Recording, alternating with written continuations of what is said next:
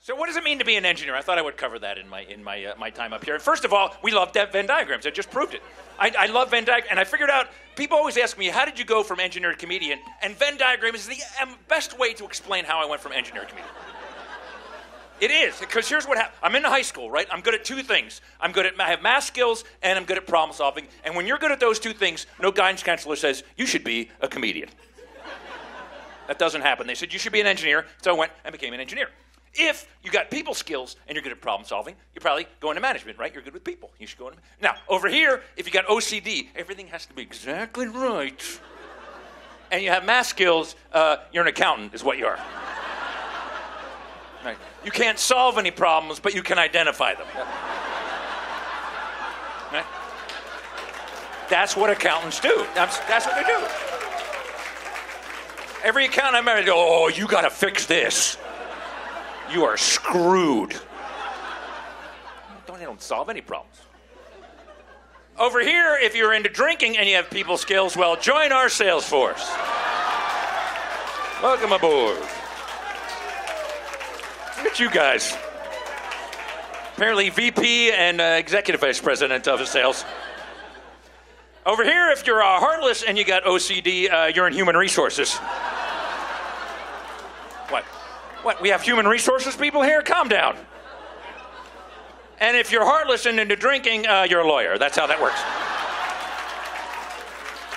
And if you're all of these things, then you are a comedian. That's how that works. Best Venn diagram you'll see.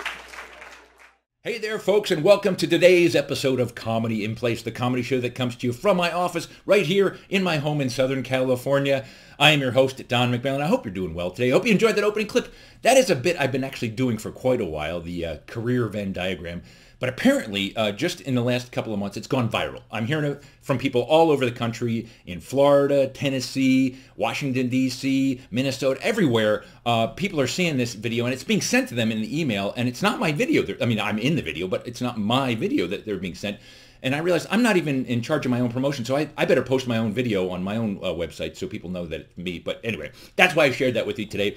And also to say thank you to John Venn, the inventor of the Venn diagram, by the way, because without that, that bit would be nothing. Obviously, it would just it wouldn't it would be kind of colorful, but it wouldn't be very funny. And today's episode is all about uh, John Venn and Venn diagrams. And I have a clip coming up at the Comedy Magic Club later, which goes a little more in depth into that exact uh, career Venn diagram bit. So stick around for that at the end of the show in front of a live studio audience. But let's get to today's Comedy in Place bit, which is all about John Venn. The guy that, you know, I just I would be lost without Mr. John Venn. So I thought today I would do a little a little tribute to the guy who helped me with my act many years ago. John Venn was a mathematician uh, who worked in the late 19th century, worked at Cambridge University working on uh, set theory, probability, that kind of thing. And he used diagrams. He, he realized he could use diagrams to describe how, you know, sets overlap and such.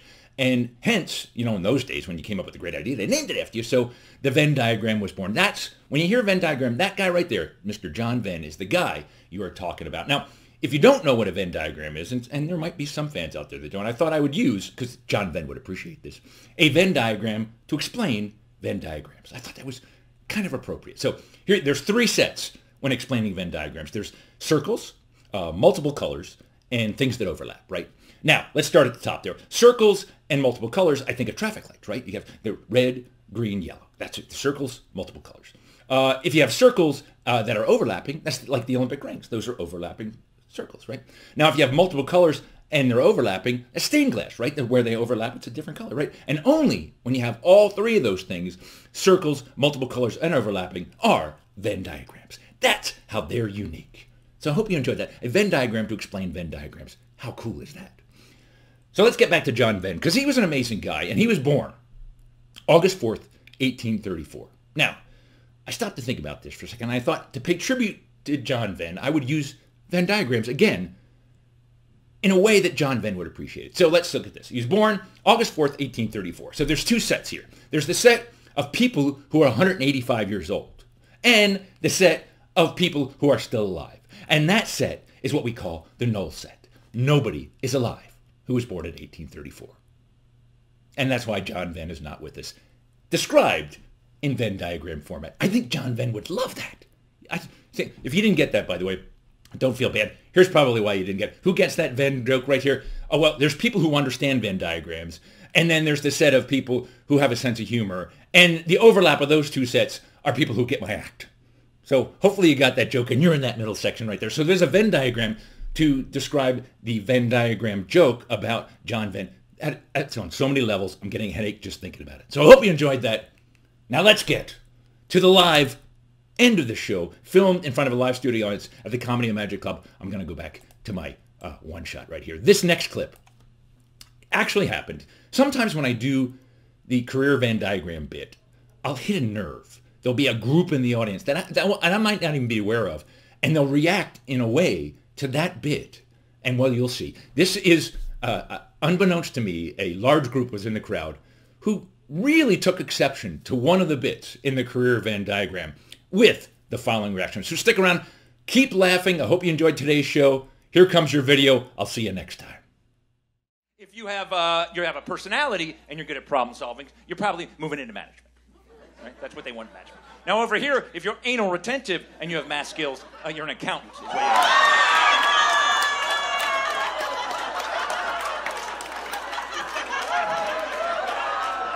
Is there some huge accounting group here? I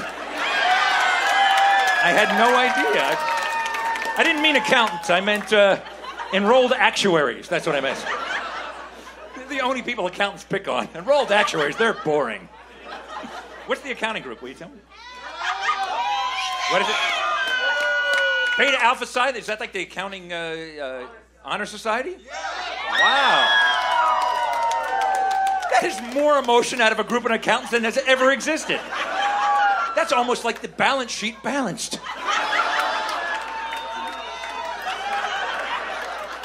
It all adds up. The debits equal the credits. Oh. You guys aren't unlike engineers, can I just tell you that?